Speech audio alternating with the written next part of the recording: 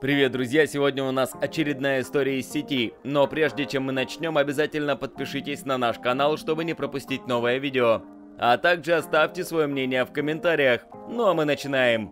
Питбули часто считают очень опасной породой, но эта история показывает другую сторону их характера. Это супер боец. Он храбр, силен, надежен, но в то же самое время мягок и ласков к тем, кто ему дорог. Небольшие размеры и крепкое телосложение выдают настоящего охотника, а ловкость и грация верного друга, с которым всегда приятно поиграть. Саша, восьмимесячный питбуль, сидел возле своего дома в Стоктоне, штат Калифорния. Было летнее воскресное утро. Вдруг собака заметила, что начался пожар, и огонь начал охватывать жилой дом. Хозяйка Саши Нана Чайчанда вместе с маленьким ребенком были внутри. Сообразительная собака вскочила и бросилась к дому, предупредив людей о пожаре, прежде чем они сами поняли, что случилось.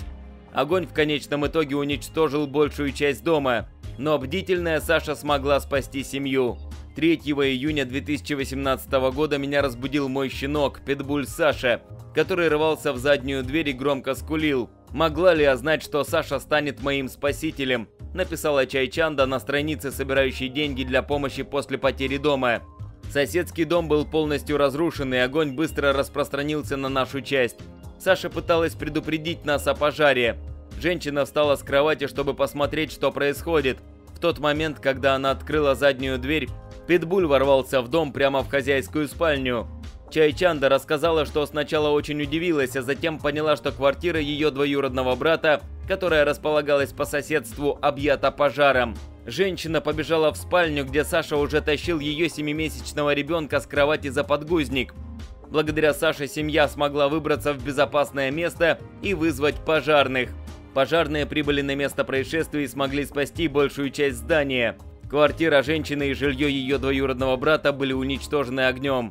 В настоящее время семья проживает с родственниками, которые живут в одной из сохранившихся квартир. Чайчанда говорит, что только из-за Саши она и ее ребенок оказались в безопасности и надеется, что ее история поможет изменить негативное восприятие питбулей. Я в долгу перед ней. Если бы не она, я была бы в постели, и все могло бы закончиться гораздо хуже, уверена женщина. А как вы относитесь к питбулям? Напишите в комментариях. На этом я с вами прощаюсь, подписывайтесь на наш канал, жмите на колокольчик, а также не забудьте перейти на наш сайт Остроумно. Странички в Инстаграм и Фейсбук, ссылки в описании.